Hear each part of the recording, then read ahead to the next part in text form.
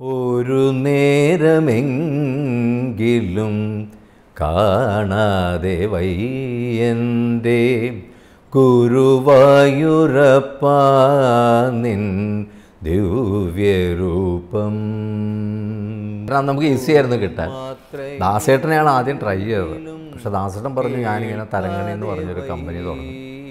എന്റെ on production അതിലല്ലാതെ ഞാൻ പോയി മറ്റുള്ള പ്രൈവറ്റ് ആയിട്ടുള്ള ഇതിലൊന്നും ഇപ്പോൾ പാടാൻ ഉദ്ദേശിക്കുന്നില്ല. ലാപം മുരളി പൊഴിക്കുന്ന ഗാനാലാപം. നമസ്കാരം. ഇന്ന് ഉത്രാടമാണ്. തിരുവോണത്തിന് ഇനി ഒരു ദിവസം മാത്രമാണ് നമ്മുടെ മുന്നിലുള്ളത്. ഈ ഉത്രാട പുലരിയിൽ നമ്മോടൊപ്പം ഇന്ന് ഈ ഓണ മുറ്റ സല്ലാപത്ത് ചേരുന്നത് ഭക്തിഗാന ശ്രേണിയിലൂടെ മലയാളികൾക്ക് സുപരിചിതനായ ഒരു സംഗീതജ്ഞനാണ്. ഇദ്ദേഹത്തിന്റെ ഗാനങ്ങൾ കേൾക്കാതെ ഒരു പ്രഭാതവും കേരളത്തിൽ ഉണരാറില്ല. നമ്മൾ എവിടെ പോയാലും ഏത് കേരളത്തിന്റെ ഏത് ജില്ലകളിൽ ചെന്നാലും അവിടെയുള്ള ഏതെങ്കിലും ഒരു അമ്പലത്തിലെങ്കിലും ഇദ്ദേഹത്തിന്റെ സംഗീതം നമ്മൾ കേട്ടിട്ടുണ്ടാകും. മറ്റ് ആമുഖങ്ങളൊന്നുമില്ലാതെ തന്നെ അദ്ദേഹത്തെ പരിപാടിയിലേക്ക് സ്വാഗതം ചെയ്യുന്നു. ടി എസ് രാധാകൃഷ്ണജി പരിപാടിയിലേക്ക് സ്വാഗതം. നമസ്കാരം. ഞാൻ ആമുഖത്തിൽ സൂചിപ്പിച്ചതുപോലെ നമ്മൾ പൊതുവെ മലയാളികൾ പറയാറുണ്ട് ദാസേട്ടനെ എവിടെ പോയാലും നമ്മൾ കേൾക്കുന്ന ഒരു ശബ്ദമാണ്. ആ ദാസേട്ടന്റെ ശബ്ദത്തിലുള്ള സംഗീതം ഈ പലപ്പോഴും പ്രഭാതങ്ങളിൽ നമ്മൾ നാട്ടിൻപുറത്താകട്ടെ പട്ടണങ്ങളിലാകട്ടെ കേരളത്തിന്റെ ഏതും മുക്കിലും മൂലയിലും പോയാലും താങ്കളുടെ സംഗീതത്തിലുള്ള ആ പാട്ടുകൾ പ്രത്യേകിച്ചും പ്രഭാതമായി എന്ന് തുടങ്ങുന്ന ഗംഗാതീർത്ഥത്തിലെയൊക്കെ ഗാനം. ശരിക്കും ഇപ്പോൾ ഈ ഈ ഒരു സമയത്ത് അത് നോക്കുമ്പോൾ എന്ത് തോന്നുന്നു? പക്ഷെ ഇതൊന്നും ആലോചിച്ചിട്ടായിരിക്കില്ല അന്ന് ആ ഗാനങ്ങൾ ഉണ്ടാക്കിയത്. ഒരിക്കലും അല്ല. അപ്പോൾ ഈ ഇത്രയും വർഷങ്ങൾ കഴിയുന്നു ഇപ്പോഴും ആ പാട്ടുകൾക്ക് ഇന്നും ഒരു നിത്യവസന്തമാണ്. അപ്പം അങ്ങനെ നോക്കുമ്പോൾ എങ്ങനെ കാണുന്നു? അതായത് ഇപ്പോൾ ഒന്നാമത്തെ ഇതൊക്കെ ഈശ്വരനാമമല്ലേ? ഈശ്വരനാമത്തിന് നാരായണത്തിൽ പറഞ്ഞ മാതിരി കാലദേശാവതിഭ്യം കാലത്തിനും ദേശത്തിനും ഒക്കെ അപ്പുറത്താണ് ഇത് നിൽക്കുന്നത്. അപ്പോൾ നമുക്കറിയാം നമ്മുടെ കുട്ടിക്കാലം മുതലേ ചെല്ലുന്ന നാമങ്ങളും കീർത്തനങ്ങളും സന്ധ്യാവേളയിൽ വീട്ടിൽ ചെല്ലുന്ന ഭജനങ്ങളും ഒക്കെ തന്നെ എത്രയോ വർഷമായിട്ട് നമ്മുടെ പൂർവികർ ചൊല്ലി വന്നത് നമ്മളുടെ ഒരു തലമുറ അട ഓരോ തലമുറകൾ ഇങ്ങനെ ചൊല്ലി വരുന്നത് എന്ന് പറഞ്ഞ മാതിരി പിന്നീട് എന്താ വെച്ചാൽ പറയാനുള്ളത് ഇപ്പോൾ നമുക്ക് ഈ കാസറ്റ് ഇൻഡസ്ട്രി എന്ന് പറഞ്ഞ ഒരു ഒരു ഇത് വന്നത് നമുക്ക് വളരെ വൈകിട്ടാണ് നമ്മുടെ കേരളത്തിൽ. പണ്ട് കാലത്തൊക്കെ നമുക്ക് മദ്രാസിൽ നിന്ന് എച്ച് എം വി ഇറക്കുന്ന എൽ പി റെക്കോർഡ്സൊക്കെയാണ് ദാസരന്റെ അയ്യപ്പൻ പാട്ടുകളും. പക്ഷേ കേരളത്തിൽ വന്ന പിന്നെയാണ് നമുക്കൊക്കെ സജീവമായിട്ട് അതിനകത്തേക്ക് എന്തെങ്കിലും കോൺട്രിബ്യൂഷൻ ചെയ്യാൻ പറ്റിയത്. പിന്നെ എന്നെ സംബന്ധിച്ചിടത്തോളം എന്നെ പറയുകയാണെങ്കിൽ ഇത് നമ്മുടെ ജന്മപുണ്യത്തിന്റെ ഒരു ബലമോ ആയിരിക്കാം. ഒരു പക്ഷേ അല്ലെങ്കിൽ ഗുരുകടാക്ഷം ഈശ്വരാധീനം ഇതാ ഇതെല്ലാം കൂടി ഒത്തു വന്നതുകൊണ്ടായിരിക്കാം നമ്മൾ ഈ ഫീൽഡിൽ വരാനും കാരണം. പിന്നെ ദാസേട്ടനെ പോലെയുള്ള ഒരു മഹാഗായകന് വേണ്ടി കുറേ വർക്കുകൾ ചെയ്യാൻ പറ്റി എന്നുള്ളത്. ശരിക്കും നമ്മുടെ ഈ സംഗീത ശാഖ മലയാള സംഗീത ശാഖ എന്ന് പറയുമ്പോൾ എല്ലാവരും ആദ്യം ലക്ഷ്യം വെക്കുന്നത് സിനിമാ ഗാനങ്ങൾ തന്നെയാണ്. തീർച്ചയായിട്ടും, ദക്ഷിണാമൂർത്തി സ്വാമി മുതൽ ഇങ്ങോട്ട് വന്ന എല്ലാവരും എത്തിച്ചേർന്ന ഒരു മേഖല അതാണ്. അതെ. പക്ഷേ താങ്കളെ പോലുള്ള ചുരുക്കം ചിലർ സിനിമയിൽ ചെയ്തു എങ്കിൽ പോലും ഇതിന് സമാന്തരമായി പോയ മറ്റൊരു ശാഖയാണ് ഈ ഭക്തിഗാന ശാഖ. ആ, ഒരു മേഖലയിലേക്ക് തിരിയാനുള്ള ഒരു കാര്യം അല്ലെങ്കിൽ അത് മാത്രം മതി എന്നുള്ള ഒരു തീരുമാനത്തിൽ എത്തുകയായിരുന്നു. അല്ല അതിന്റെ മുഖ്യ കാരണം വെച്ചാൽ ഈ വളരെ ഞാൻ പറഞ്ഞില്ലേ ഞാൻ നേരത്തെ സൂചിപ്പിച്ചതുപോലെ നമ്മുടെ ബാല്യകാലം മുതലേ നമ്മൾ ഇതിലേക്കാണ് നമ്മുടെ ശ്രദ്ധ പോകുന്നത്. അത് നമ്മുടെ മറ്റു ജീവിതത്തിന്റെ പിന്നെയും അത് റിലേറ്റഡ് ആയിരിക്കും. ഞാനതിൽ വിശ്വസിക്കുന്നു. എനിക്കൊക്കെ എന്നെ സംബന്ധിച്ചിടത്തോളം എനിക്ക് കിട്ടിയ ഭാഗ്യം ഞങ്ങൾ എറണാകുളം ശിവക്ഷേത്രത്തിൽ ഒരു എട്ട് ഒമ്പത് വയസ്സ് മുതലൊക്കെ പോയി നിത്യം ഭജന ചെല്ലാനുള്ളൊരു അവസരം എനിക്ക് ഞാനും എന്റെ ഒരു സഹോദരൻ ശങ്കരനാരായണൻ എന്ന് പറയും. അപ്പോൾ അവിടെ നമ്മുടെ ഈ പറഞ്ഞ മാതിരി കാർന്നവന്മാരിരുന്ന് ഭജന പാടുമ്പോൾ ഞങ്ങളതിൽ പോയി പങ്കുകൊള്ളുക.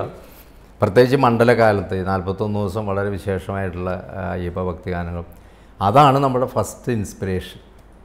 പിന്നീട് നമ്മൾ സ്കൂളിൽ പഠിക്കുന്ന കാലത്തും കോളേജിൽ പഠിക്കുന്ന കാലത്തും ഇത് നമ്മുടെ ഉള്ളിന്റെ ഉള്ളിൽ ഇങ്ങനെ ഒളിഞ്ഞു കിടക്കുന്നുണ്ട്. പിന്നെ സംഗീതത്തോടുള്ള നമ്മുടെ ഇത് ഇപ്പോൾ നമ്മുടെ വീടുകളിലുള്ള അറ്റ്മോസ്ഫിയർ അച്ഛൻ നമുക്ക് തന്ന എൻകറേജ്മെന്റ് നമ്മളെ സംഗീതം പഠിപ്പിക്കാൻ വേണ്ടി അവർ അതിനുവേണ്ടി അവർ താല്പര്യം കാണിച്ചതും. പിന്നെ വീട്ടിൽ സഹോദരിമാരൊക്കെ പാടിയിരുന്നു. ഇങ്ങനെ ഇതെല്ലാം കാരണങ്ങൾ കൊണ്ട് ഈ രംഗത്തേക്ക് വരണം എന്നുള്ളതും പിന്നെ ഈ പൂർവകാലത്ത് ഞാൻ പറയില്ല ഈ ഭക്തിഗാന തന്നെ ഉള്ളിൽ ഈ ഭജൻസും എല്ലാം കിടക്കുന്നതുകൊണ്ടായിരിക്കാം ഒരു പക്ഷേ ഈ ഭക്തിഗാന രംഗത്തേക്ക് തന്നെ നിൽക്കണം എന്നുള്ളൊരു മോഹം നമ്മുടെ ഉള്ളിൽ വരാൻ കാരണം. ഈ മറ്റൊരു കാര്യം ഇപ്പം താങ്കൾ നേരത്തെ പറഞ്ഞു ഈ എച്ച് എം ബി റെക്കോർഡ്സിൽ നിന്ന് കാസറ്റിലേക്ക് വന്നത്. ശരിക്കും തരങ്കിണി ദാസേട്ടന്റെ നേതൃത്വത്തിലുള്ള തരങ്കിണി സ്റ്റുഡിയോസ് നമ്മുടെ പ്രത്യേകിച്ചും തിരുവനന്തപുരത്ത്. തലസ്ഥാന ഹൃദയത്തിൽ തന്നെ പ്രവർത്തനം ആരംഭിച്ചതോടുകൂടിയാണ് മലയാളത്തിൽ ഇത്തരത്തിലുള്ള ഈ എല്ലാ ജോണറിലുള്ള ആൽബംസും വന്നു തുടങ്ങിയത്. ഭക്തിഗാനമാകട്ടെ അപ്പൊ അതിൽ തന്നെ ഈ ഭക്തിഗാനങ്ങൾ ഇപ്പോൾ നമ്മൾ സൂചിപ്പിച്ചതുപോലെ ഗംഗാ തീർത്ഥം തുളസി തീർത്ഥം ആ ഒരു സീരീസിന്റെ ഒക്കെ ഒരു ആവിർഭാവം എങ്ങനെയാണ്? ശരിക്കും ഇതൊരു ഈ കാസറ്റ് എന്നുള്ള ഒരു വിപണനമാണോ മറിച്ച് അതിനും അപ്പുറം ഈ പറഞ്ഞതുപോലെ അല്ല ഞങ്ങൾ ഈ ചെയ്യുന്ന വർക്ക് അത് ഇത്ര കാലത്തേക്ക് അല്ലെങ്കിൽ ഇതൊരു ഭക്തിഗാനമായി അവശേഷിക്കണം എന്നുള്ള ഒരു വലിയ തീരുമാനമാണോ? അതായത് നമ്മളെല്ലാം കുട്ടിക്കാലം മുതലേ കേട്ട് വളർന്നിരിക്കുന്നത് ഈ ദാസേട്ടന്റെ ശബ്ദമാണ്. ദാസേട്ടൻ ജയേട്ടൻ അതുമാതിരി ജാനകിയമ്മ സുശീലാമ്മ വളരെ നമ്മൾ സ്കൂളിൽ പഠിക്കുന്ന കാലം മുതൽ.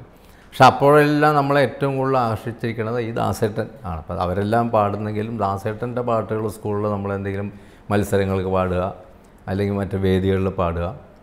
പിന്നീട് നമ്മൾ ജീവിതത്തിൽ ഈ കമ്പോസിങ് എന്ന് പറഞ്ഞൊരു മനസ്സിൽ നമുക്ക് അങ്ങനെ ഒരു ഐഡിയ ഉദിച്ചപ്പോൾ കാരണം ഈ ദക്ഷിണാമൂർത്തി ദേവരാമാഷും ഒക്കെ നമ്മൾ വളരെയധികം ആരാധിക്കപ്പെട്ടിരുന്ന ഒരു വ്യക്തിയാണ് ഞാൻ. സ്വാമിയുടെയൊക്കെ പാട്ടുകൾ പ്രത്യേകിച്ച് സ്വാമിയുടെ ഈ നമ്മുടെ കർണാട്ടിക് രാഗങ്ങളെ ബേസ് ചെയ്തിട്ടുള്ള പാട്ടുകൾ ഉത്തരാസ്വയംബരം കാട്ടിലെ പാഴമുള്ള ഇതുവരെ സ്വാമിയുടെ നല്ല നല്ല അനേകം മാഷിന്റെ കഥ.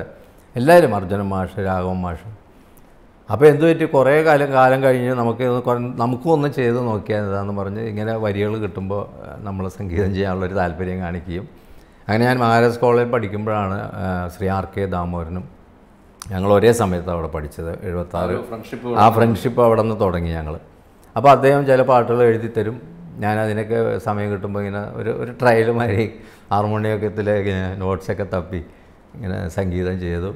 അത് ഞങ്ങൾ ഞങ്ങൾ ഇരുന്നിരുന്ന ഒരു ഉപാസന മാതിരി ഏകദേശം ഒരു പത്ത് ഗാനങ്ങളോളം ഞങ്ങളങ്ങനെ വെറുതെ ഞാൻ പറയാം കാഷ്വലായിട്ട് നിങ്ങൾ നേരത്തെ ചോദിച്ച മാതിരി ആൽബം ആക്കണമെന്ന് നമുക്കറിയില്ല എന്ന് കാസറ്റ് ഇൻഡസ്ട്രിയൊക്കെ തുടങ്ങാൻ പോകണുള്ളൂ കേരളത്തിൽ. എന്നാലും ഒരു പത്ത് പാട്ട് വെറുതെ ഇങ്ങനെ ഇരുന്ന് ചെയ്ത് കഴിഞ്ഞപ്പോൾ ഞങ്ങളുടെ കൂടെയുള്ളൊരു സുഹൃത്ത് പറഞ്ഞു നമുക്ക് എന്തുകൊണ്ട് ഇതെല്ലാം കൂടി ഒരു ആൽബമാക്കി ചെയ്തുകൂടാ? എന്ന് പറയുകയും അദ്ദേഹത്തിന്റെ താല്പര്യത്തിൽ അദ്ദേഹം പിന്നെ അന്നെന്നും പറഞ്ഞാൽ നമുക്ക് ഇത്ര എക്സ്പെൻസീവ് ഒന്നുമല്ല. ഉള്ള സൗകര്യങ്ങൾ വെച്ച് വലിയ ഇന്നത്തെമാതിരി ഡിജിറ്റൽ റെക്കോർഡിങ്ങോ വളരെ സിമ്പിളായിട്ടുള്ള ടു ട്രാക്ക് റെക്കോർഡിലുള്ള റെക്കോർഡിംഗ് സ്റ്റുഡിയോ പോലും ഇല്ല സത്യം പറഞ്ഞാൽ. ആ കാലഘട്ടത്തിൽ. എന്നാലും ഒരു മുറിക്കകത്ത് ചാക്കൊക്കെ ഇങ്ങനെ നിവൃത്തിയിട്ട് ഇത് മറ്റേ സൗണ്ട് പ്രൂഫ് ചെയ്യാൻ വേണ്ടി. സാധാ റെക്കോർഡറിൽ അദ്ദേഹം തന്നെ റെക്കോർഡ് ചെയ്യുന്നു. അപ്പോൾ ഇങ്ങനെ ഒരു മനസ്സിൽ ഉദിച്ച ഒരു ഇതാണ് അപ്പോൾ എന്തായാലും പാട്ടുകളൊക്കെ ട്യൂണിംഗ് ഒക്കെ വന്ന് കഴിഞ്ഞപ്പോൾ നമുക്ക് തന്നെ ഒരു തൃപ്തിയായി ഇതങ്ങനെ മാക്സിമം നല്ല രീതിയിൽ പാടിച്ചെടുക്കണം എന്നുള്ള ആഗ്രഹം കൊണ്ട് ജയചന്ദ്രൻ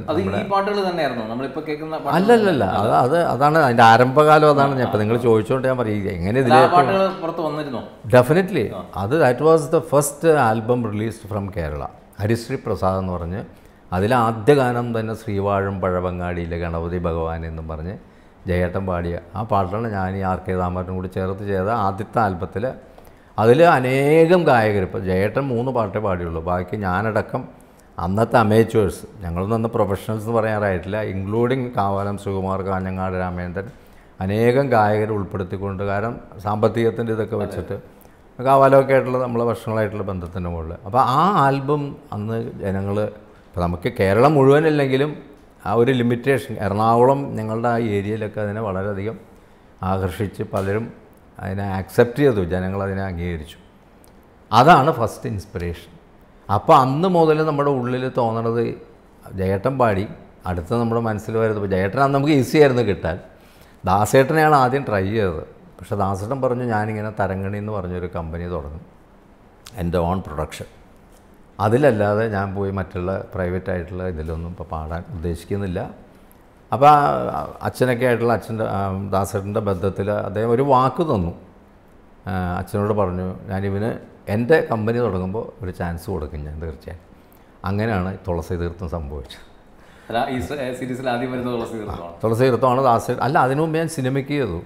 എൺപത്തൊന്നിൽ അദ്ദേഹത്തിന് വേണ്ടി എതിർപ്പുകൾ എന്ന് പറഞ്ഞൊരു സിനിമ ഉണ്ണി ആറന്മുള എന്ന് പറഞ്ഞ് മമ്മൂട്ടി രതീഷ് ഉർവശി ആദ്യമായിട്ട് അഭിനയിക്കുന്ന മലയാള ചലച്ചിത്രം. അതിൽ മനസ്സൊരു മായാപ്രപഞ്ചം എന്ന് പറഞ്ഞൊരു പാട്ട്. മമ്മൂട്ടിയാണ് ആ സീനിൽ ആക്ട് ചെയ്യണതൊക്കെ. അത് എയ്റ്റി വണ്ണിലായിരുന്നു അത്. എയ്റ്റി ടൂവിലാണ് തുളസി തീർത്ഥം റെക്കോർഡ് ചെയ്യണത്. അതും ഇതേപോലെ ശ്രീ ചൊവ്വലൂർ കൃഷ്ണൻകുട്ടി അദ്ദേഹം ഈ അടുത്താണ് നമ്മളെ വിട്ടു പിരിഞ്ഞത് അദ്ദേഹം എറണാകുളത്ത് മനോരമയിൽ വർക്ക് ചെയ്യുമ്പോൾ അദ്ദേഹമായിട്ടുള്ള ബന്ധത്തിന്റെ മുകളിൽ ഇതുമാതിരി ഇരുന്ന് സമയം കിട്ടുമ്പോൾ കുറേ പാട്ടുകൾ ഉണ്ടാക്കുക എന്നുള്ള അങ്ങനെ ഒരു ഒക്കേഷനായിരുന്നു അത് അദ്ദേഹം തന്നെ പറഞ്ഞിട്ടുണ്ട് ഈ ഒരു വീഡിയോയിൽ ഗുരുവായൂർ ക്ഷേത്രത്തിലെ ഉത്സവം. അപ്പോൾ അതിനു മുമ്പ് എനിക്ക് ഞാൻ പറഞ്ഞില്ല ഈ ആദ്യത്തെ ഭക്തിഗാനങ്ങളൊക്കെ ഇറങ്ങിയപ്പോൾ എനിക്ക് മനസ്സിലൊരു തോ തോന്നി. എന്തുകൊണ്ട് നമുക്ക് വേദികളിൽ അവതരിപ്പിച്ചുകൂടാ? ജനങ്ങൾക്ക് നമ്മളുടെ ഓൺ കോമ്പോസിഷനും അതിന്റെ കൂടെ പഴയ ട്രഡീഷണൽ ഭജൻസും. അങ്ങനെ ഞങ്ങൾ ഈ അരിശ്രീ പ്രസാദ് എന്നുള്ള ആൽബം ഇറങ്ങിയ ഉടനെ അരിശ്രീ എന്നുള്ള പേരിൽ തന്നെ ഞാൻ ഭജൻ ഗ്രൂപ്പ് തുടങ്ങുകയാണ് എറണാകുളത്ത്. ചെറിയ രീതിയിൽ ഹാർമോണിയം തവലയൊക്കെ വെച്ച്. അപ്പോൾ അങ്ങനെ ഇരിക്കുമ്പോഴാണ് ഗുരുവായൂർ ക്ഷേത്രത്തിൽ ഒരു പ്രോഗ്രാം എയ്റ്റി ടൂവിൽ എനിക്ക് കിട്ടുന്നതും അവിടെ വെച്ച് ശ്രീ ചൊവ്വലൂർ കൃഷ്ണൻകുട്ടി ഒരു പാട്ട് എഴുതി തന്നിട്ട് ഇതൊന്നും നമുക്കിന്ന് പരിപാടിയിൽ അവതരിപ്പിക്കണം തന്ന പാട്ടാണ് ഒരു നേരമെങ്കിലും എന്നുള്ള പാട്ട്. ആ അന്ന് മനസ്സിൽ അവിടെ ഗുരുവായൂർ പോയി ഇരുന്നത് അപ്പോൾ അതുകൊണ്ട് ഞങ്ങൾ ഞങ്ങൾ രണ്ടുപേരും പറയുന്നതിനെ കുറിച്ച് അദ്ദേഹം പറയും എനിക്ക് ഗുരുവായൂരപ്പം ഗുരുവായൂരപ്പൻ പറഞ്ഞു തന്ന് ഞാൻ എഴുതി. അപ്പോൾ ഞാൻ പറയും എനിക്ക് ഗുരുവായൂരപ്പൻ പറഞ്ഞു തന്ന ട്യൂൺ ഞാൻ അവിടെ പാടി അത്രേ ഉള്ളൂ. അപ്പം പിന്നെ ദാസേട്ടൻ അത് പാടി അങ്ങ് ആ ആൽബം തുളസീർത്ഥത്തിൽ അതൊക്കെ ഒരു വലിയ അനുഗ്രഹമാണ് നമുക്ക് അങ്ങനെ അദ്ദേഹത്തിന്റെ ശബ്ദത്തിലൂടെ. ഒരു നാല് വരി ആ തീർച്ചയായിട്ടും. ആ തീർച്ചയായിട്ടും. ഒരു നേരമെങ്കിലും കാണാതെ വയ്യന്റെ ഗുരുവായൂരപ്പ നിൻ ദിവ്യരൂപം. ഒരു മാത്രയെങ്കിലും കേൾക്കാതെ വയ്യ നിൻ മുരളി പൊഴിക്കുന്ന ഗാനാലാപം. മുരളി പൊഴിക്കുന്ന ഗാനാലാപം.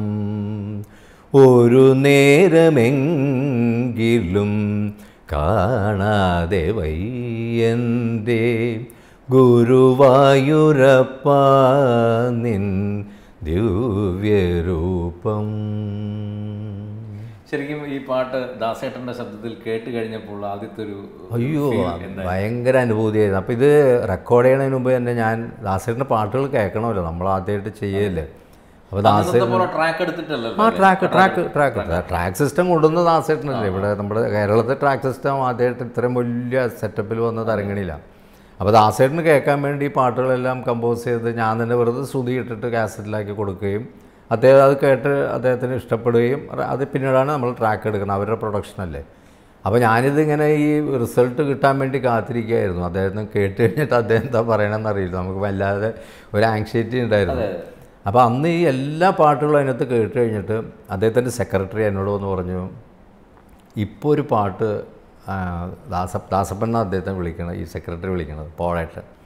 ഒരു പാട്ട് ഇപ്പോൾ ദാസ ദാസപ്പൻ പറയണ്ടായിരുന്നു. എടാ ഇത് നല്ല പാട്ടായിട്ടത് എന്ന് പറഞ്ഞ് ഈ പർട്ടിക്കുലർ സോങ് അന്ന് പറഞ്ഞു എന്റെ അടുത്ത്.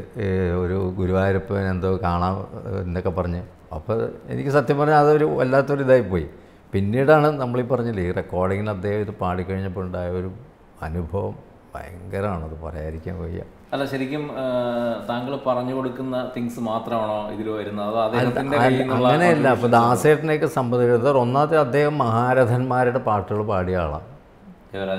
പിന്നെ എല്ലാം ഹിമാലയാസാണ് നമ്മുടെ ആ- ലെവലിലുള്ള സംഗീത സംവിധായകരുടെ പാടിയിട്ട് പിന്നെ നമ്മളുടെ മാതിരിയൊക്കെ പാടുക എന്ന് പറഞ്ഞാൽ അദ്ദേഹത്തിന് ഒന്നുമില്ലാതെ പക്ഷേ അങ്ങനെയുള്ളൊരു ധാരണയിലേ അല്ല അദ്ദേഹം പാടുന്നത്. ഇപ്പോൾ നിങ്ങൾ ചോദിച്ച മാതിരി അദ്ദേഹം നമ്മൾ പറഞ്ഞു കൊടുക്കുമ്പോൾ അതിൽ ഉൾക്കൊണ്ടുകൊണ്ട് നമ്മൾ പറഞ്ഞതും നമ്മൾ ഉണ്ടാക്കിയതെന്നും പത്തിരട്ടി അവനെ എന്താ പറയുക പൊലിപ്പിക്കുക എന്ന് മലയാളത്തിൽ പറയില്ലേ?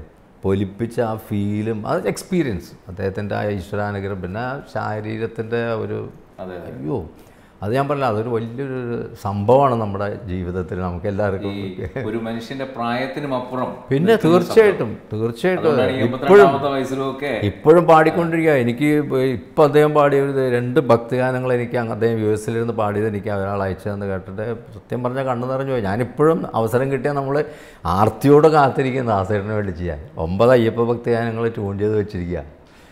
മൂന്ന് കൊല്ലമായിട്ട് ഈ കൊറോണയുടെ ഇത് കാരണം അതേ യു എസിൽ പെട്ടുപോയി. അല്ലെങ്കിൽ അതെല്ലാം സെറ്റ് ചെയ്ത് വെച്ചിരിക്കുക നമ്മൾ അവസരം കിട്ടിയാൽ ഒരിക്കലും നമുക്ക് വിടാൻ പറ്റില്ല. എന്റെ നല്ല കേട്ടോ.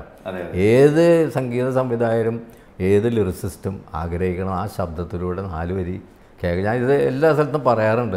രവീന്ദ്ര മാഷൊക്കെ പറയാറുണ്ട് നമ്മുടെ അടുത്ത്. രാജാ സാറ്. കാരണം അറിയാം അറിയാവുന്നവർക്കറിയാം എല്ലാ പാട്ടും എല്ലാവരും പാടും. പക്ഷേ ഈ ശബ്ദത്തിലൂടെ ചില പാട്ടുകൾ വരുമ്പോൾ കിട്ടുന്ന പ്രത്യേകത. അതിപ്പോൾ ഞാൻ ഞാൻ പറഞ്ഞില്ല നമ്മൾ ആ പഴയ പാട്ടിന്റെ ഒരു ഒരു ഒരു പൂർത്തീകരണം ഈ ശബ്ദത്തിലൂടെ. അതാണ്. നിങ്ങൾ പൂർത്തീകരണം പറഞ്ഞാൽ കംപ്ലീഷൻ കംപ്ലീഷൻ സത്യം. അതിനകത്തൊരു ഓർണമെന്റേഷൻ അദ്ദേഹത്തിന്റെ ചില അദ്ദേഹത്തിന്റെ നോ സംശയം. അത് സ്വാമി പറഞ്ഞു ഒരിക്കൽ അല്ല സ്വാമി പറഞ്ഞത്. സാരി സ്വാമിയെ എനിക്കൊരു ആചാര്യ സ്ഥാനത്ത് ഞാൻ നോക്കണം സ്വാമി ഒരു ഗുരുസ്ഥാനീയനാണ് എന്നെ സംബന്ധിച്ചോളം. അങ്ങനെ ഒരു അടുപ്പമായിരുന്നു ഞങ്ങൾ അപ്പോൾ സ്വാമി പറയാം എടാ യേശു എന്ന് സ്വാമി വിളിക്കുള്ളൂ. എടാ Yesu is equal to Yesu.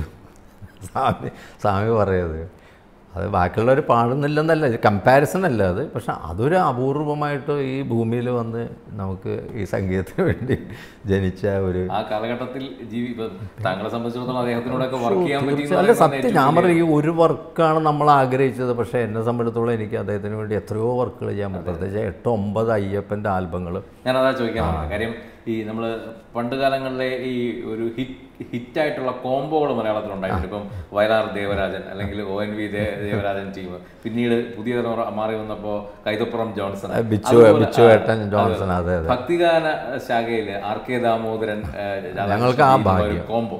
അതിൽ കൂടി ദാസേട്ടനും കൂടെ വന്നു ചേരുമ്പോൾ ഒരു ത്രിവേണി സംഗമമാണ്. തീർച്ചയായും. ആ സംഗമത്തിലാണ് നമ്മൾ കേട്ടിട്ടുള്ള അയ്യപ്പ ഭക്തിഗാനം. അയ്യപ്പ ഭക്തി ഈ അയ്യപ്പ ഭക്തിഗാനങ്ങളിലേക്ക് പോകുന്നതിന് മുമ്പ് ഈ തുളസി തീർത്ഥത്തിൽ നിന്നും ഗംഗാ തീർത്ഥത്തിലേക്ക് എത്തിയതിന്റെ ഒരു വിശേഷം. അല്ല തുളസി തീർത്ഥം എൺപത്തി ആറിലാണ് റെക്കോ റിലീസ് ചെയ്യണത്. അത് കഴിഞ്ഞിട്ട് ഞങ്ങൾക്ക് എനിക്ക് ആക്ച്വലി അടുത്ത വർഷം തന്നെ അയ്യപ്പൻ ചെയ്യാൻ പറഞ്ഞു ആസേട്ടൻ കാരണം ഈ പാട്ടുകൾ ജനങ്ങൾ ശ്രദ്ധിക്കപ്പെട്ടപ്പോൾ പക്ഷേ ഞങ്ങൾ അപ്പോഴത്തേക്ക് ആർ കെ ഞാനും കൂടി ചേർന്ന് കർപ്പൂര ദീപം എന്ന് പറഞ്ഞ് ജയേട്ടന് വേണ്ടി ഒരു വർക്ക് ഓൾറെഡി റെക്കോർഡ് ചെയ്തു. പക്ഷേ തുളസി തീർത്ഥത്തിലെ പാട്ടുകൾ അതിനോടകം എല്ലാ പാട്ടുകളും പല രീതിയിൽ ഹിറ്റ് ആയി കഴിഞ്ഞു. കാര്യം അതെ. അഷ്ടമി രോഹിണി, ആ, ചിത്ര- പല ചിത്ര- ലളിതഗാന ചിത്ര- വേദികളിൽ ചിത്രപാടി, പല അതെ, പുരസ്കാരങ്ങൾ ഒരുപാട് കുട്ടികൾ വാരി തിരുവാറന്മുള കൃഷ്ണ. സ്കൂൾ കാലഘട്ടത്തിലെ ലൈറ്റ് മ്യൂസിക് കോമ്പറ്റീഷനും പാടിയിട്ടുള്ള പാട്ടാണ്. അതെ അതെ ശിവരഞ്ജിനി ശിവരഞ്ജിനി അതെ ശിവരഞ്ജിനി അതെ. അപ്പോൾ ഈ ദാസേട്ടന്റെ അയ്യപ്പൻ ചെയ്യാനുള്ള അവസരം കിട്ടുമ്പോൾ ഞങ്ങൾക്ക് ഇത് അത് നഷ്ടപ്പെട്ടു പോയി. ഈ പറഞ്ഞില്ലേ ഓൾറെഡി ജയേട്ടന്റെ കർപ്പൂര ദീപം അതും വളരെ ഇറ്റ ജയേട്ടന്റെ അന്ന് അത് എറണാകുളത്ത് നിന്നുള്ള റിലീസായിരുന്നു അവർക്ക് വർക്ക് സ്വാതി കാസറ്റ്സ് അപ്പോൾ ഉടനെ ഇമ്മീഡിയറ്റ്ലി എൺപത്താറിൽ എൺപത്തേഴിൽ അതാണ് ഗംഗേമരം ചെയ്ത് ഹിറ്റാക്കിയ വർക്കാണത്. ആനയിറങ്ങും. മാവിലെ. അത് ചോലൂർ കൃഷ്ണൻകുട്ടി എഴുതി ഭയങ്കര ഏറ്റവും കൂടുതൽ ഏറ്റവും സൂപ്പർ ഹിറ്റായിരുന്നതാണ് രംഗമാഷിന്റെ ആണ് ആദ്യത്തെ ഏറ്റവും കൂടുതൽ പോയത് കന്നിമല ഇത് ചോലൂർ ആ അപ്പം ആ ടീം തന്നെ ചെയ്യണം എന്ന് പറഞ്ഞിട്ടാണ് ഞങ്ങളെ ഏൽപ്പിച്ചത്. തുളസീർത്ഥത്തിന്റെ അതേ ടീമായിട്ട് നിങ്ങൾ ചെയ്യണം എന്ന് പറഞ്ഞു. അപ്പോഴത്തേക്ക് ഞാനും ആർക്കെയും കൂടി ചേർന്ന് ഈ വർക്ക് പക്ഷെ ലാസ്റ്റിന് അവർ കമ്പനിക്ക് ഒരു അവർ സ്ട്രിക്റ്റ് ആയിട്ട് അവർ ഒരു വർക്ക് ഒരു സീസണിൽ ഒരാൾ ചെയ്യാൻ പാടുള്ളൂ. എഴുതാനും സംഗീതം ചെയ്യാനും. ദാസേട്ടനും അത്രേ പാടാറുള്ളൂ. പുള്ളീനെ ഓടിച്ചാടി. വളരെ ഡിസിപ്ലിൻഡ് ആണ് ആ കാര്യത്തിൽ അപ്പോൾ അതുകൊണ്ട് ജനങ്ങൾക്ക് അതിനൊരു പ്രത്യേക ഇതുണ്ടേ. അപ്പോൾ ആ വർഷം നമുക്കത് മിസ്സായി ഉടനെ ഇമ്മീഡിയറ്റ്ലി എയ്റ്റി എയ്റ്റിൽ അപ്പോഴത്തേക്ക് അത് ചോലൂരുമാരി ആർക്കെയായി. പമ്പാ ഗണപതി പാവം മറിച്ചിട്ടാൽ പമ്പ. അതൊക്കെ വരുന്ന ആൽബം. അതിനകത്ത് വളരെ പ്രത്യേകിച്ച് അതുവരെ വേറെ ലിറിക്സ് ഒക്കെ ആദ്യ ഘട്ടത്തിൽ ചില വിമർശനങ്ങളൊക്കെ ഉയർത്തിയിരുന്നു. അത് മറ്റേ. പക്ഷേ ഈ സംഗീതമാണ് അതിനെ അല്ല അതിന് ഈ ആർ കെ ദാമോദരന്റെ ഒരു അദ്ദേഹത്തിന്റെ ക്വാളിറ്റി എന്ന് വെച്ചാൽ അദ്ദേഹം വ്യത്യസ്തമായിട്ട് വരണം എന്ന് വെച്ചിട്ടാണ്. പ്രത്യേകിച്ച് ദാസേട്ടൻ പാടുമ്പോൾ ദാസേട്ടൻ ഈ ഒരു ഒരു ജാതി ഒരു മതം നാരായണഗുരു സ്വാമിയുടെ അതിലൊക്കെ ഭയങ്കര ഇതാണല്ലോ. അദ്ദേഹത്തിന്റെ ആ സ്പിരിറ്റ് ഭയങ്കരമാണ് അങ്ങനെയാണ് അതിൽ കൊച്ചുതൊമ്മൻ സ്വാമികളുണ്ട് കൂട്ടുകാരുണ്ട് എന്നുള്ള പാട്ടൊക്കെ ആഡ് ചെയ്യണം ദാസേട്ടൻ ഭയങ്കര ഇമ്പ്രസീവായി കാരണം ശബരിമല അങ്ങനെയാണല്ലോ. അവിടെ നമുക്കറിയാമല്ലോ ജാതി മത ഭേദം ഒരു വ്യത്യാസമില്ലാതെ പോകുന്ന എല്ലാവരും പോകുന്ന ക്ഷേത്രം. മാത്രമല്ല ഈ ഇവരുടെ അതുവരെയുള്ള ഇറങ്ങിയ ആൽബങ്ങളിലൊന്നും ഗണപതിയൊന്നുമില്ല. അവർ തുടങ്ങണതിന് അയ്യപ്പന്റെ പാട്ടുകളാണ് ഈ ഏഴ് പാട് പമ്പാ ഗണപതിയാണ് ആദ്യമായിട്ട് ദാമോദരൻ എഴുതി കൊണ്ടുവന്നിട്ട് തുടങ്ങണത്. അതിനകത്ത് മാളിക പുറത്തിന് കൊണ്ടുവന്നു. ശരം കുത്തിയാലിന്റെ മുറിവേറ്റ മനസ്സോടെ ശബരിമലയിൽ ഇരിക്കുന്നമ്മ. അത് പിന്നീട് ഒരു പാറ്റേൺ ആയി മാറി. കാര്യം എനിക്ക് ഓർമ്മയുണ്ട് അതിനുശേഷം വന്ന പല കാസറ്റുകളും അന്ന് കാസറ്റിന്റെ എ സൈഡും ബി സൈഡും ആണല്ലോ. ബി സൈഡിലെ ആദ്യത്തെ പാട്ട് മാളിക മാളികപ്പുറം എ സൈഡിലെ ഗണപതി പമ്പ ഗണപതി. അപ്പോൾ ഇതിനകത്ത് വേറെ രസം എന്ന് വെച്ചപ്പോൾ എനിക്ക് വേറെ വലിയൊരു ഒരു ഇൻസ്പിറേഷൻ ദാസേട്ടൻ തന്നെന്താ പറയുക അപ്പോൾ ഈ തുളസീർത്തം കഴിഞ്ഞപ്പോൾ ഇങ്ങനെ ദാസേട്ടനെ പല വേദികൾ കാണുമ്പോഴും പറയടാ നിങ്ങളുടെ അടുത്ത ജനറേഷൻ ഓൾറെഡി ഇവരൊക്കെ ചെയ്ത രാഗങ്ങളൊക്കെ എടുത്ത് അത്ര മനോഹരമായിട്ട് ഇവരൊക്കെ ചെയ്തു കഴിഞ്ഞു. കല്യാണിയും കാമ്പോജിയും കരകരപ്രിയൊക്കെ സ്വാമിയുടെ എന്തോരം പാട്ടുകളാണ്. അപ്പോൾ നിങ്ങളൊക്കെ ചെയ്യുമ്പോൾ കുറച്ച് പുതിയ പുതിയ എന്തെങ്കിലും സ്കെയിൽസൊക്കെ നിങ്ങൾ കൺ നിങ്ങൾ കണ്ടുപിടിക്കാനല്ല പറയുന്നത് ഉണ്ടാവും. ഇറ്റ്സ് ഓൾറെഡി ഡെയർ അതൊക്കെ എടുത്ത് ചെയ്യുമ്പോൾ ബാലമുരളി സാറിനൊക്കെ അദ്ദേഹത്തിന്റെയൊക്കെ നല്ല നല്ല രാഗങ്ങൾ അങ്ങനെ ദാസേട്ടൻ തന്നെ ഒരു ബുക്ക് രാഗപ്രവാഹം എന്ന് പറഞ്ഞൊരു പുസ്തകം പറഞ്ഞിട്ട് മദ്രാസിൽ നിന്ന് ആ ബുക്ക് വരുത്തിയിട്ട് അതിൽ നിന്ന് ഞാൻ ഈ വർക്കിൽ തന്നെ ഒരു പരീക്ഷണമായിട്ട് ഇപ്പം ഞാൻ പാടിയില്ലേ? ഇത് സുമനസരഞ്ജനി എന്ന് പറഞ്ഞ് അധികം വരാത്ത രാഗം അതിൽ തന്നെ ഹരിവരാസനം കേട്ടുമയങ്ങിയ ഹരിഹരപുത്ര ഉണരൂ എന്ന് പറഞ്ഞ് സൂര്യ എന്ന് പറഞ്ഞ രാഗമാണത്. അപ്പോൾ ഇത് രണ്ടും ആ വർക്കിൽ ഒരു പരീക്ഷണം നടത്തി. മധ്യമാവധി കിടക്കുന്ന ഹരിവരാസനത്തിനെയാണ് ഈ രാഗത്തിലോട്ട് കൊണ്ടുവന്നത്. അപ്പോൾ പരീക്ഷണാർത്ഥം ചെയ്തു. പക്ഷെ ദാസട്ടം പാടി അതങ്ങോട്ട് അതെ അതെ അത് വരികളും അതെ അങ്ങനെ ആർക്കെ എഴുതിയിരിക്കുന്ന അതിനകത്ത് ഓരോ പാട്ടുകളും എല്ലാം. അപ്പോൾ അതൊക്കെ ഒരു നിമിത്തമാണ് ഞാൻ പറഞ്ഞത്. പിന്നെ അവിടെ നിന്ന് അങ്ങോട്ട് ഞങ്ങൾ കുറേ വർക്കുകൾ വോളിയം ഇത് എയ്റ്റാണ്. പിന്നെ എവരി ഫൈവ് ഇയേഴ്സ് ആ ശരണതരങ്ങണി വന്നു അതെ വോളിയം ടു അത് തന്നെ അത് തന്നെ ലംബോ അതിലും അതിലും ഈ പറഞ്ഞ മാതിരി നളിനകാന്തി എന്ന് പറഞ്ഞ സ്കെയിലൊക്കെ ഇനിയും ഭവാനെന്നിൽ പാട്ടു നൽകൂ. ശ്രുതിപ്പനി നീരാടിയ പാട്ടു നൽകൂ. അപ്പോൾ അതിനകത്ത് ഈ എവരി ഫൈവ് ഇയേഴ്സ് നമുക്ക് കിട്ടിയാൽ പറയേ എയ്റ്റിൽ ചെയ്തു അത് കഴിഞ്ഞിട്ട് തേർട്ടീനിൽ ചെയ്തു. പിന്നെ ഞങ്ങൾക്ക് കിട്ടിയ ഭാഗ്യം എയ്റ്റീൻ ചെയ്യാനാണ്. പതിനെട്ടും ശബരിമലയും തമ്മിലുള്ള ബന്ധം ദാസേട്ടന്റെ പതിനെട്ടാമത്തെ വോളിയം. താമ്പൂലം ആ താമ്പൂലം വെച്ച് തൊഴുന്നു.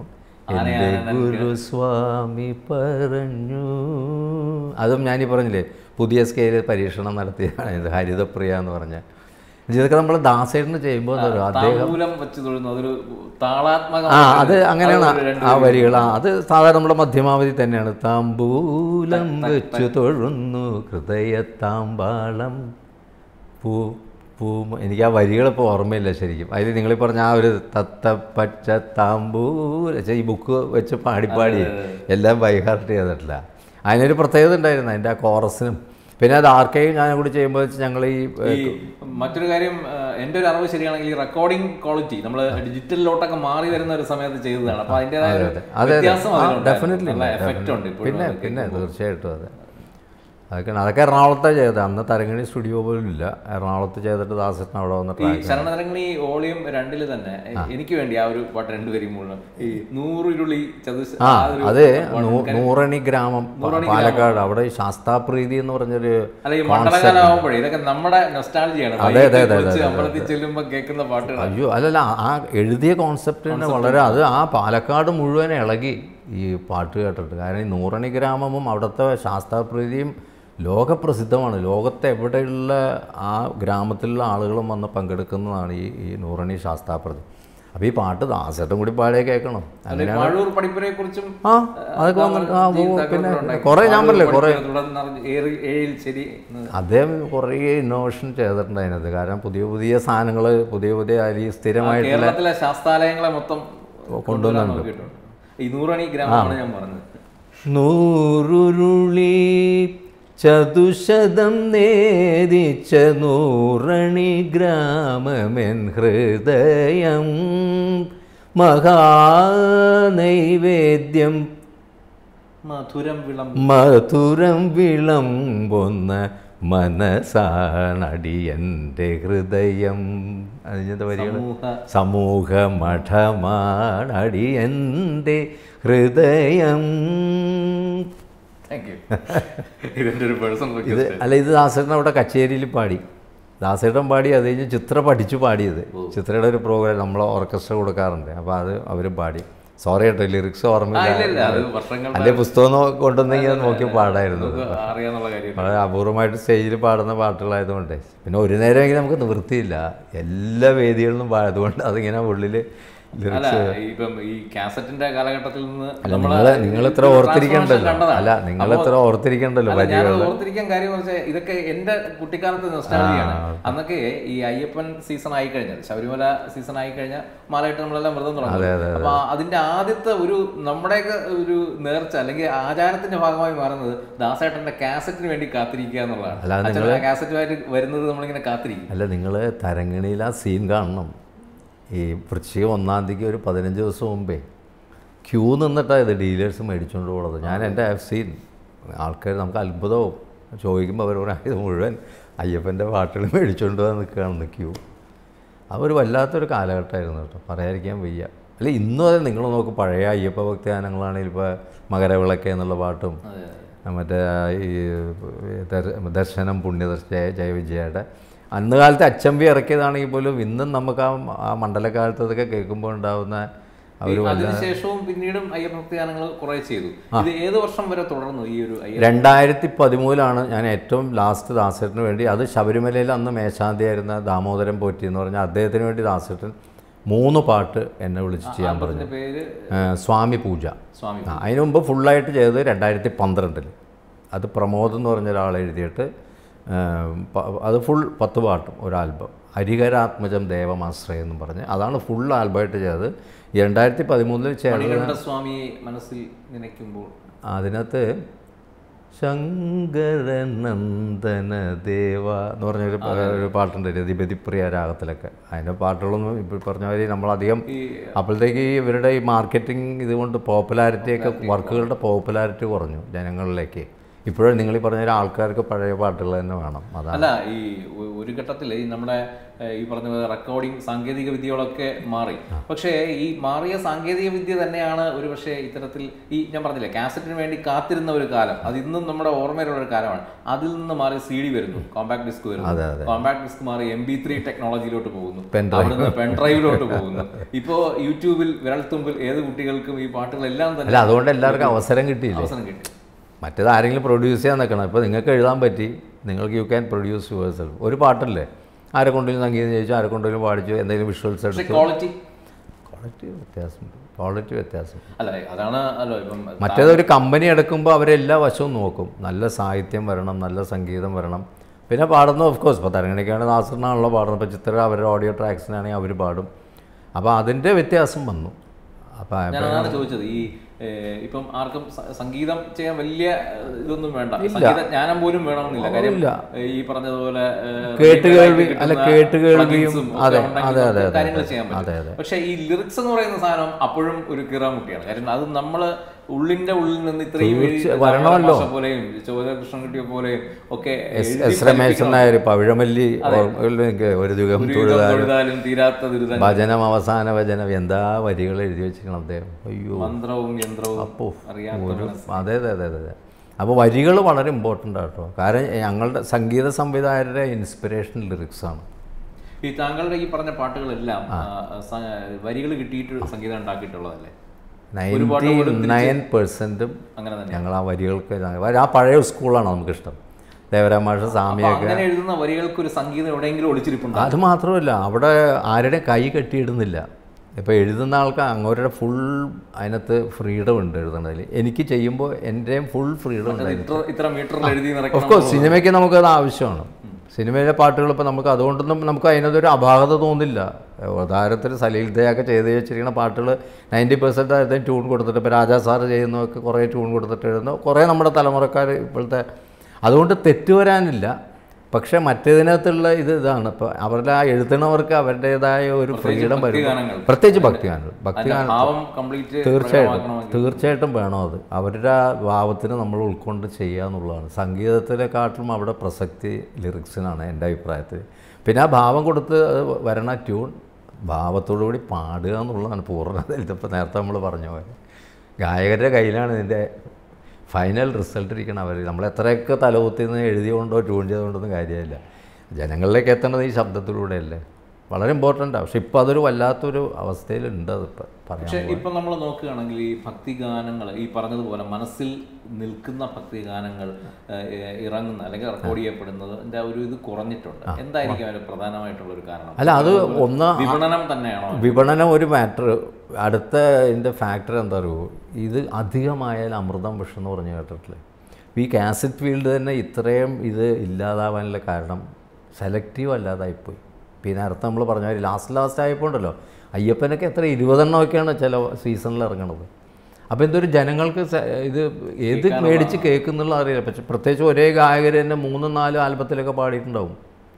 അപ്പോൾ എന്ത് പറ്റി? ഇപ്പോൾ ഗുരുവായൂരൊക്കെ പോയാൽ കടക്കാർ തന്നെ പറയും. ഇപ്പോൾ ഇങ്ങോട്ട് ഇത് ഇത്തവണ അഞ്ച് വർക്ക് പാടിയിട്ടുണ്ട്. മറ്റേ ആൾ ആറ് പാ അപ്പോൾ ഇങ്ങനെ വരുമ്പോൾ ജനങ്ങൾക്ക് കേൾക്കാനുള്ള ഇത് അപ്പോൾ എന്തോ അപ്പോൾ അപ്പോൾ മെയിനായിട്ട് എല്ലാവരും വന്ന് നിങ്ങൾ ഈ പറഞ്ഞ പോലെ വന്ന് നോക്കണം ദാസന്റെ പാടിയ വർക്ക് മേടിച്ചുകൊണ്ട് പോകണം പ്രത്യേകിച്ച് തമിഴ്നാട്ടിൽ നിന്നൊക്കെ വന്നാൽ കർണാടകം തെലുങ്ക് എന്നൊക്കെ വന്നാൽ ഏകദേശം നമ്മുടെ ഈ ആൽബം മുഴുവൻ എല്ലാ ലാംഗ്വേജിലേക്ക് ആക്കുമല്ലോ ട്രാക്ക് എടുത്തിട്ട് എല്ലാ ലാംഗ്വേജിലും ആക്കും. അപ്പോൾ ഇവരൊക്കെ വന്നാൽ കേൾക്കണത് യെസ് ദാസ് പാടുന്ന സോങ് കേൾക്കുമെന്ന് ചോദിക്കുള്ളവർ അതോടുകൂടി എന്തോ ഇതിങ്ങനെ അധികമായി കഴിഞ്ഞപ്പോൾ ഇതിങ്ങനെ സെലക്റ്റീവ് ആവാനുള്ള ബുദ്ധിമുട്ടായി. ആളുകൾക്ക് കേൾക്കാനുള്ള അധികമായിട്ട് ഇത് കേൾക്കാനുള്ള താല്പര്യം കുറഞ്ഞു.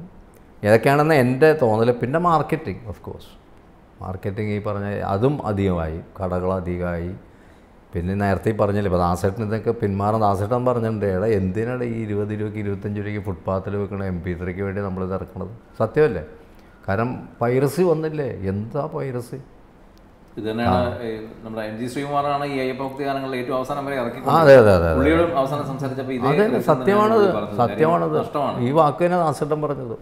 എന്തിനാ നമ്മൾ ഈ ഫുട്പാത്തിലും റെയിൽവേ സ്റ്റേഷനിലും കൊണ്ടുപോയിട്ട് ഇരുപത് ഇരുപതും പതിനഞ്ച് രൂപയ്ക്ക് നൂറ്റമ്പത് പാട്ട് എം പി ത്രീ ആക്കി അടിച്ചു വെക്കണം നമ്മളെന്തിന് കഷ്ടപ്പെട്ട് ഇറക്കണത് ഇപ്പോൾ അതും വേണ്ട യൂട്യൂബിൽ നിന്ന് ഡൗൺലോഡ് ചെയ്യാൻ ഒരാവശ്യമില്ല അപ്പോൾ അതുകൊണ്ട് ആൾക്കാർക്ക് ഇപ്പോൾ ഇപ്പോൾ ഫെസിലിറ്റി കൂടി സത്യം പറഞ്ഞാൽ പക്ഷേ ഈ പറഞ്ഞ മാതിരി ക്വാളിറ്റി എന്നുള്ള സാധനം അതിപ്പോൾ എല്ലാത്തിനെയും ബാധിച്ചിട്ടുണ്ട്. നമ്മൾ സംഗീതം മാത്രമല്ല ലൈഫിൽ മൊത്തം. പിന്നെ മറ്റൊരു പ്രവണത കണ്ടുവരുന്നത് ഇപ്പോൾ ഈ അൺപ്ലഗ്ഡ് വെർഷൻസിന്റെ ഒരു കാലഘട്ടമാണ്. ഈ ഓരോ ആളുകൾ അവരവരുടെ രീതിയിൽ മറ്റ് രാഗങ്ങളുമായി മിക്സ് ചെയ്ത് ഇറക്കുന്നത്. ഇപ്പം അങ്ങയുടെ പാട്ടുകൾ പോലും ഞാൻ കവർ സോങ്സ് ആയിട്ട് കണ്ടിട്ടുണ്ട്. ഉണ്ടാവാം ഉണ്ടാവാം. അപ്പൊ അതിനോടുള്ള ഒരു അഭിപ്രായം അല്ല അതിനോട് നമുക്ക് പ്രതികരിക്കാതിരിക്കാൻ പറ്റില്ല. ഇപ്പൊ രാജാ സാറൊക്കെ അതിനെക്കുറിച്ചൊക്കെ പറയും ഓപ്പൺ ആയിട്ട് പക്ഷെ ഞാനും എന്താ പറയുക എനിക്ക് എന്റെ പാട്ടുകളെടുത്ത് ചെയ്യണമെങ്കിൽ പോലും എനിക്ക് വിഷമം തോന്നിയിട്ടില്ല. പക്ഷെ നമ്മുടെ ഈ കാർന്നന്മാർ ചെയ്ത പാട്ടുകളൊക്കെ ഇല്ലേ നല്ല നല്ല നമ്മുടെ അന്നത്തെ കാലത്തെ ഫിലിം സോങ്സ് ഒക്കെ എടുത്ത് ഈ കാണിക്കുമ്പോൾ നമുക്ക് അതിലും കഷ്ടമാണ് എനിക്ക് നമ്മുടെ ത്രിമൂർത്തികളുടെ കോമ്പോസിഷൻസൊക്കെ എടുത്ത് ചെയ്ത് ഈ ഫ്യൂഷൻ മാരിയൊക്കെ ത്യാരാകൃത്യങ്ങൾ നെഗുമോ ആബേരിയുള്ള ഹിറ്റ് ക്ഷീരസാഗര അതൊക്കെ കുറച്ച് അക്രമമാണെന്നാണ് എന്റെ അഭിപ്രായം.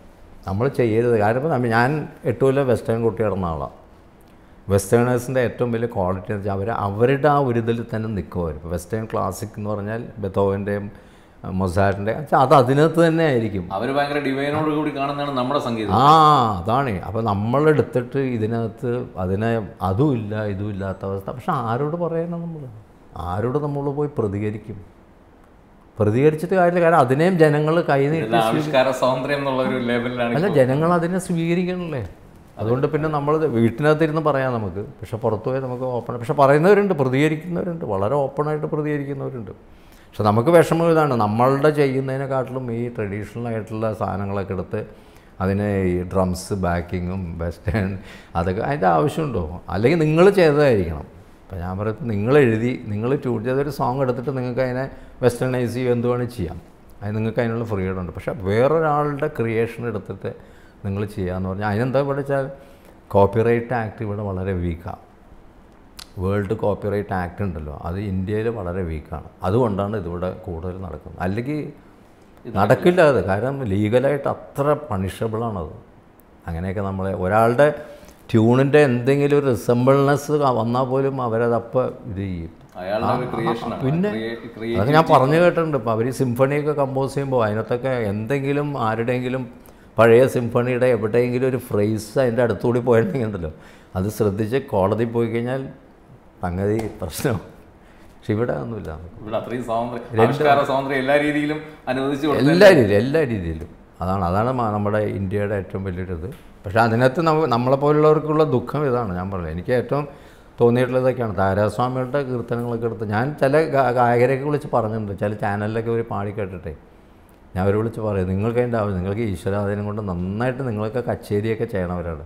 അപ്പോൾ ഇങ്ങനെ ഒരു കാര്യമല്ല. അത് സാറേ നമ്മൾ അവരിങ്ങനെ ഞാൻ പറയും നിർബന്ധിച്ചാലും നിങ്ങളെപ്പോലുള്ള അടുത്ത ജനറേഷനെ നിങ്ങൾ വഴിതെറ്റിക്കുകയാണ് അപ്പോൾ അവർ വിചാരിക്കണം എന്താണ്?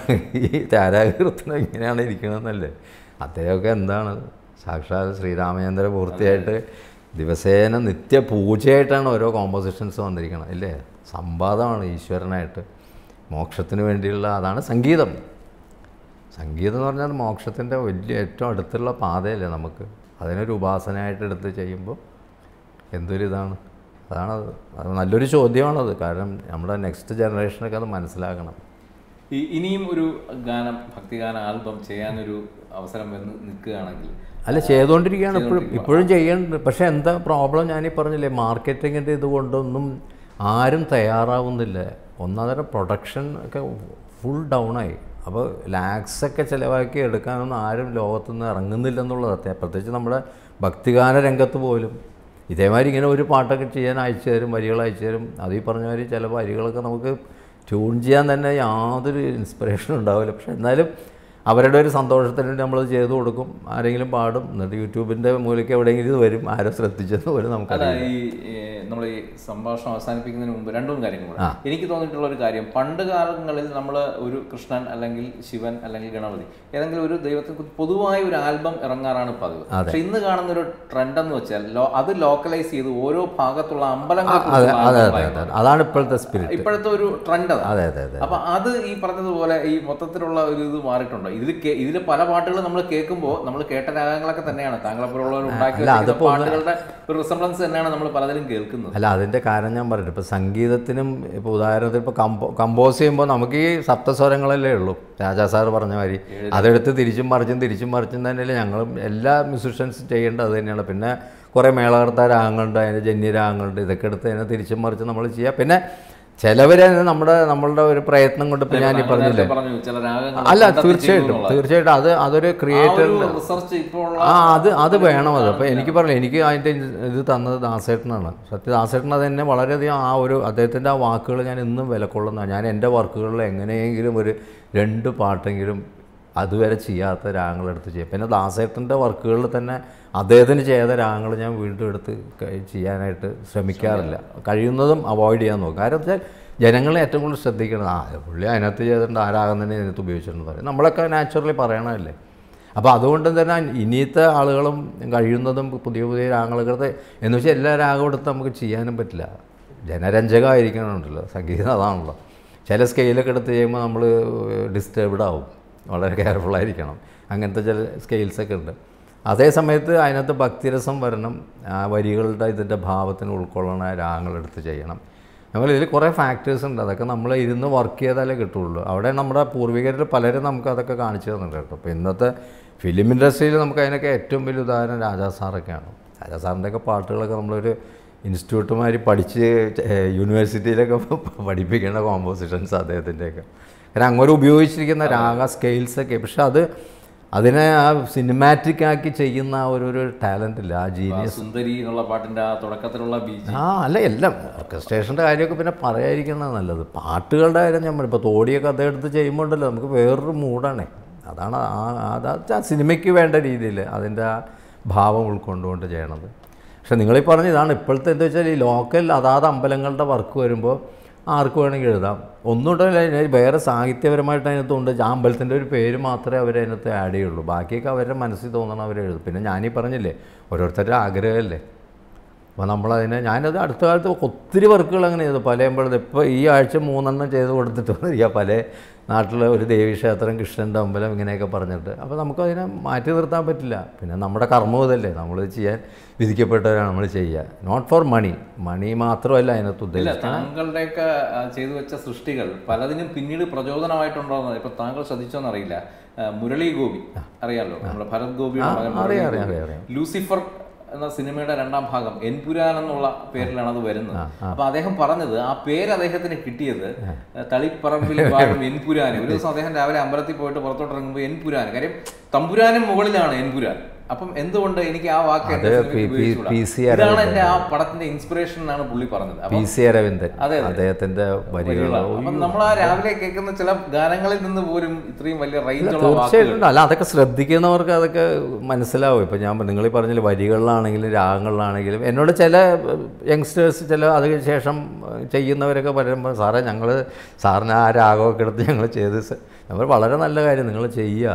എത്ര ഇതേ പുസ്തകങ്ങൾ ഇങ്ങനത്തെ പുസ്തകങ്ങളൊക്കെ ഉണ്ട്. രാഗപ്രവാഹം അയ്യായിരത്തി ചില്ലാൻ രാഗങ്ങളുണ്ട് അതിനകത്ത്. അതിൽ നിന്നൊക്കെ എടുത്ത് നമുക്ക് ചെയ്യാം. നമുക്ക് അതിനുള്ള സ്കോപ്പുണ്ട് പക്ഷെ ഇതിനകത്ത് അത്ര ആവശ്യമുള്ളൂ നമുക്ക്. ഇത് കച്ചേരി നമ്മൾ അങ്ങനെ ഇതായിട്ട് കച്ചേരി ആണെങ്കിൽ പോലും അതുപോലെ എടുത്ത് കച്ചേരിക്കാരെ ഇപ്പോഴത്തെ തലമുറയൊക്കെ എടുത്ത് ചെയ്യുന്നുണ്ട്. അതിനൊന്നും ഒരു ഇത് പറയാൻ വയ്യ. ഇതിന് ലിമിറ്റേഷനില്ല ഇതിങ്ങനെ കിടക്കല്ലേ? ഇപ്പൊ നമുക്കറിയാം ഏറ്റവും ഒടുവിലായിട്ട് സംഗീത വലിയ വിവാദം നടക്കുന്ന സമയമാണ്. കാര്യം സംഗീതം പഠിച്ചവർ നോക്കുകുത്തികളായി നിൽക്കുമ്പോൾ ഒരു ഗാനം പാടി അവാർഡ് വാങ്ങിച്ചു എന്നുള്ളത് അത് അതിന്റെ ശരിതെറ്റുകൾ നമ്മൾ പോകുന്നില്ല. എങ്കിലും താങ്കൾ അതിനെ നോക്കി കാണുന്നത് എങ്ങനെയാണ്? ഒരു സംഗീതജ്ഞൻ എന്നുള്ള നിലയിൽ. അതായത് ഇതിനകത്ത് രണ്ട് വശമുണ്ട് ഇപ്പോൾ ഇപ്പം നമുക്കതിനിപ്പോൾ ഏറ്റവും വലിയ ഉദാഹരണം ഞാൻ എന്റെ വാക്കുകളില്ല. നമുക്ക് എസ് പി ബി സാറിനെ കുറിച്ചറിയാം. അദ്ദേഹം പറഞ്ഞിരിക്കണം അദ്ദേഹം സംഗീതം പഠിച്ചിട്ടേ ഇല്ലെന്നാണ് പറയണത് പക്ഷെ നമുക്ക് ആ പാട്ടുകൾ കേട്ടാൽ വിശ്വസിക്കാൻ പറ്റുമോ? ജാനകിയമ്മ. അതാ അല്ല ഞാൻ എസ് പി പി സാർ എന്ന് പറയാൻ കാരണം അദ്ദേഹമാണ് അത് കൂടുതൽ എക്സ്പ്രസ് ചെയ്തിരിക്കുന്നത്. അതിന് ഉദാഹരണമാണ് ശങ്കരാഭരണത്തിലെ ഗാനങ്ങൾ അദ്ദേഹത്തെ പാടിക്കാൻ വേണ്ടി കെ വി മഹാദേവൻ സാർ പറഞ്ഞപ്പോൾ അദ്ദേഹം പറഞ്ഞ ഇത് ദാസണ്ണ പാടേണ്ട സോങ്സ് ഇതെല്ലാം കർണാട്ടിക് ബേസ് അപ്പോൾ പൂഴേന്തി സാർ പറഞ്ഞു ഇല്ല അത് ബാലു തന്നെ പാടണം എന്ന് പറഞ്ഞാൽ അങ്ങനെ ഒരു ഇത് ഞാൻ വായിച്ചിട്ടുണ്ട് ഇവിടെ ഒരു ആർട്ടിക്കിളിൽ അപ്പോൾ അങ്ങനെ അത് പഠിക്കാതെ അദ്ദേഹത്തിന് ഇത്രയും പാടാൻ സാധിച്ചു എന്ന് പറഞ്ഞാൽ അതിപ്പോൾ നമ്മളുടെ നമ്മൾ അത് അതിനെക്കുറിച്ച് എങ്ങനെ ഒരു ഒരു തീരുമാനത്തിൽ വരും നമ്മൾ എന്ന് വെച്ച് പഠിക്കേണ്ടെന്നല്ല പഠിച്ച് പാടുന്നത് ഒന്ന് വേറെ. അല്ലാതെ ടാലന്റ് വരുന്നത് ഇപ്പോൾ അതിപ്പോൾ കമ്പോസിങ്ങിലും ഉണ്ടല്ലോ. ഞാൻ പറഞ്ഞ പാടുന്നതിൽ മാത്രമല്ല ഈ വെറും കേൾവിജ്ഞാനം അല്ലെങ്കിൽ ലക്ഷ്യജ്ഞാനം എന്നൊക്കെ പറയും. ചിലവർ ചില രാഗങ്ങളൊക്കെ എടുത്ത് പാട്ടുകൾ കമ്പോസ് ചെയ്തിരിക്കണത് കേട്ടാൽ നമുക്കൊക്കെ അത്ഭുതമാവും. അതുമാതിരി പാടുന്നത് കേട്ടാൽ. നാൽപ്പത് വർഷം രാത്രിയും പകലും ഇരുന്ന് സാധകം ചെയ്താൽ തൊണ്ടയിൽ വരാത്തത് ചിലവരുടെ തൊണ്ടയിലുണ്ടല്ലോ. നിമിഷ നേരം കൊണ്ടുവരാം അതാണ് പറയുന്നത് സ്വാമി പറയുന്നത് കൃഷ്ണാമൂർത്തി സ്വാമി പറയും സംഗീതം ഈശ്വരനാണ്. ഇതിന്റെ ഫൈനൽ ആയിട്ട് പറയാനുള്ള മറുപടി അതാണ്. സപ്തസ്വരങ്ങളും സ്വരദേവതമാരാണ്. സ്വാമി പറയും ഷഡ്ജം ഋഷഭം ഗാന്ധാരം ഇതൊക്കെ നമ്മൾ പറയുന്നുണ്ടെങ്കിലും അതൊക്കെ ഓരോ ദേവതമാരാണ്. സംഗീതം ഈശ്വരനാടാണ് അദ്ദേഹത്തിന്റെ വാക്കുകളാണത്. അതിനപ്പുറത്തോട്ട് ഒന്നുമില്ല. അതിന്റെ ഏറ്റവും വലിയ തെളിവാണിത്. നിങ്ങൾ പറഞ്ഞില്ലേ പഠിച്ചവർക്ക് അംഗീകാരം കിട്ടുന്നതോ പഠിക്കാത്തവർ അതല്ല ഇവിടെ നമ്മൾ നോക്കേണ്ടത്. അവരുടെ ആ ആ പെർഫോമൻസ് ആ പർട്ടിക്കുലർ സാധനം അവരെങ്ങനെ പെർഫോം ചെയ്തിരിക്കണം? എനിക്ക് നമുക്ക് അത്ഭുതം. ഞാൻ എത്രയോ പേരെ പാടിച്ചിട്ടുണ്ട്. അപ്പോൾ നമ്മളിങ്ങനെ വളരെ സെലിബ്രിറ്റീസിനെ തന്നെ പാടിക്കണമെന്നൊന്നും അങ്ങനെ ഞാൻ നിർബന്ധിക്കാറൊന്നുമില്ല. കാരണം പ്രൊഡ്യൂസറുടെ പൈസ എത്ര കുറച്ച് ചിലവാക്കി അങ്ങവർക്ക് ചെയ്യാൻ പറ്റുമോ? പ്രത്യേകിച്ച് എഴുതി കൊണ്ടുവരുന്നവരൊക്കെ വളരെ ലോ ബഡ്ജറ്റൊക്കെ ആകുമ്പോൾ നമ്മൾ പറയും നിങ്ങൾ ആരെ കൊണ്ടെങ്കിലും പാടി. പക്ഷെ ശ്രുതിയും താളമൊക്കെ ഉള്ള ഒരാളായിരിക്കണം. വല്ലാതെ ഒന്നുമില്ലാത്തവരെ നമുക്ക് പാടിക്കഴിഞ്ഞാൽ നമുക്കത് ആ ക്രിയേറ്റിവിറ്റി ഒന്നുമില്ലാതായി പോകും. പക്ഷെ അതിൽ തന്നെ ഈ പറഞ്ഞ മാതിരി ചില കുട്ടികളൊക്കെ യങ്സ്റ്റേഴ്സ് ചിലപ്പോൾ അതിൽ പഠിക്കാത്തവർ അവർ നമ്മളോട് സോങ് പഠിക്കാൻ പറ്റും. സാറേ ഞങ്ങൾ പഠിച്ചിട്ടൊന്നുമില്ല. അവർ ആഗ്രഹം കൊണ്ട് നമ്മൾ അതിനകത്ത് നിങ്ങൾ പഠിക്കും. നന്നായിട്ട് ആ പാട്ട് പത്ത് തവണ നിങ്ങളുടെ ഉള്ളിൽ കയറും നിങ്ങൾ സിനിമ പാട്ടൊക്കെ പഠിക്കണം അതുമാതിരി തന്നെയാണ്. പക്ഷെ അവർ വന്ന് പാടുമ്പോൾ നമുക്ക് അത്ഭുതമാവും. നമ്മൾ കമ്പോസ് ചെയ്ത സാധനങ്ങളൊക്കെ അവർക്ക്. പക്ഷെ പഠിച്ചവരാകുമ്പോൾ ഇപ്പോൾ ദാസേട്ടനൊക്കെ അതല്ലേ?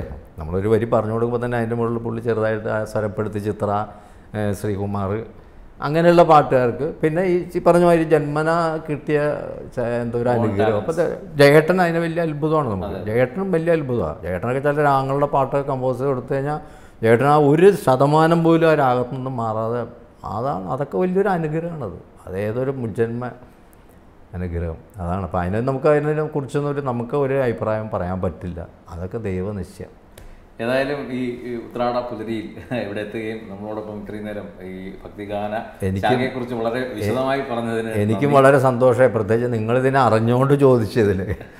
പല ഇന്റർവ്യൂകളിലും ഞാൻ പലപ്പോഴും നോക്കാറുണ്ട്. എന്നെ ഗാനരചയിതാവരാക്കിയിട്ടുണ്ട് സംഗീത സംവിധായകനല്ലാതെ കാരണം അവരത്രയും അറിഞ്ഞുകൊണ്ട് വന്ന് ചോദിക്കാറുണ്ട് സൂചിപ്പിച്ചതുപോലെ ഓരോ പ്രഭാതങ്ങളിലും നമ്മുടെ മുമ്പിൽ ഓരോ ഈശ്വരന്മാർ തെളിഞ്ഞത് താങ്കളുടെ അല്ല സംഗീതത്തിൽ അത് ഒരു കാലഘട്ടമായിരുന്നു അത്. ഒരു കാലഘട്ടം. നല്ല കാലഘട്ടം നമുക്ക് കിട്ടിയന്ന്. നമ്മുടെ കയ്യിൽ വന്ന് കിട്ടിയ നല്ലൊരു കാലഘട്ടമാണ് കാലഘട്ടം. തന്നെയാണ് നമ്മുടെ ഭാഗ്യം. കാര്യം തീർച്ചയായിട്ടും. പോലുള്ള സംഗീതജ്ഞന്റെ ദാസേട്ടനെ പോലുള്ള വലിയൊരു സംശയമൊന്നുമില്ല. കാലഘട്ടത്തിൽ സംശയമൊന്നുമില്ല. തരങ്കണിമാരി ഒരു കമ്പനി വരികയിൽ നല്ല പ്രൊഡക്ഷൻസ് അവർ എല്ലാം അവരുടെ ലളിതഗാനങ്ങളാണെങ്കിലും എന്താണെങ്കിലും ഏതായാലും നമ്മൾ ഈ ഇന്നിപ്പോ ഈ കണ്ടുമുട്ടൽ നടന്നിരിക്കുന്നത് തിരുവനന്തപുരത്താണ്. പത്മനാഭസ്വാമി ക്ഷേത്രത്തിന് വളരെ അടുത്താണ്. ഈ സംഭാഷണം അവസാനിക്കുമ്പോൾ പത്മതീർത്ഥത്തെ കുറിച്ച് താങ്കൾ സംഗീതം ചെയ്ത ഗാനമുണ്ടല്ലോ, അതെ അതെ അത് പാടിക്കൊണ്ട് നിർത്താമെന്ന് പറയും ബ്രാഹ്മമുഹൂർത്തത്തിലുണർന്നും ഉദയാർക്ക ബ്രഹ്മബീജം വിടർത്തും സഹസ്രദളങ്ങളിൽ സാന്ദ്രഗഭീരമാം ഗായത്രി പകർന്നും ശ്രീപത്മനാഭനെ നിത്യവും സേവിക്കും. പത്മതീർത്ഥമേ നമസ്കാരം. നിനക്കായിരം നമസ്കാരം.